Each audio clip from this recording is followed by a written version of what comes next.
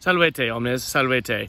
Uh, mihi nomen est Augustus, id est ego sum Augustus, et ab amicis Augustus Latine vocor, uh, gas Anglicae vocor. Et hodie nunc uh, sedeo in Silva, et audio strepitum sat magnum, e forse tan horribile auditu est, sed uh, audio strepitum e via, quia sunt multae auto ridae in via, sed quoqua, quia iam in silva, iam sedio, audio et ausculto aves pipiantes.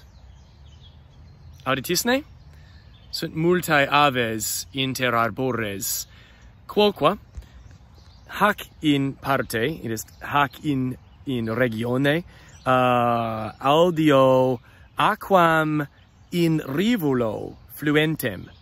In rivulo fluentem. Mm, rivus mihi iam uh, eh, non videtur uh, propter arbores inter rivum et me sed eh, uh, iam sedeo in lecto suspenso in hamaco in lecto suspenso inter arbores et uh, habeo quoque sacum.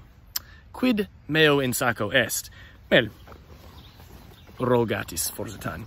Uh, meo in sacco est liber, uh, liber est liber de, uh, de vita, es, es liber philosophicus forsitan, uh, a Theodoru Zeldino uh, scriptus est liber. Bene.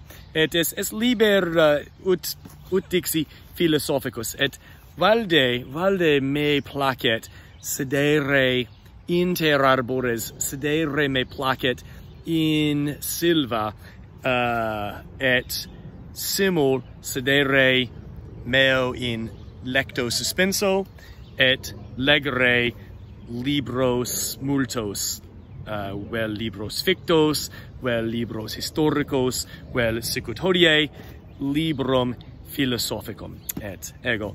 Uh, volo maxime uh, nunc legere. Sed primo Wallui vobiscum colloqui de uh, de rebus hodiernis de rebus quotidianis. Sed nunc est tempus legendi id est necesse est mihi legere nunc aut apportit me legere ergo quia est tempus legendi nunc est tempus valedicenti ergo valete omnes.